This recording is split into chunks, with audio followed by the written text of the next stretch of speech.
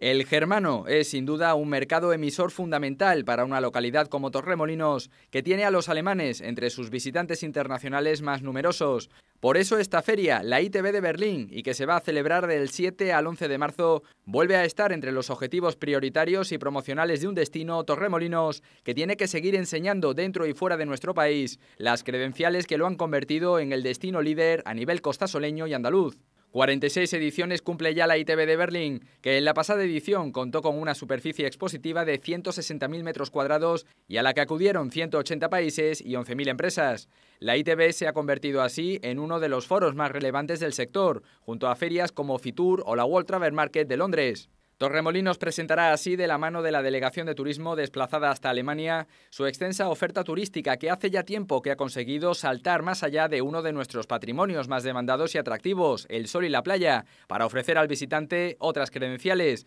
como el Torremolinos Ciudad, con sus calles comerciales, sus monumentos o el paseo marítimo, su gastronomía local, admirada en todo el mundo, una propuesta cultural presente durante todo el año y que ofrece espectáculos y citas de todo tipo para disfrutar, la mayoría de ellas de manera totalmente gratuita. Y sin olvidar esa gran villa deportiva de Torremolinos, con instalaciones de máximo nivel, en las que prácticamente todos los deportes más demandados tienen cabida, atrayendo a ese otro turista, el deportivo. Hay mucho que enseñar en la ITB de Berlín, una muestra en la que están presentes todas las ramas de la industria turística países y destinos, operadores turísticos, transporte u hoteles, entre otros.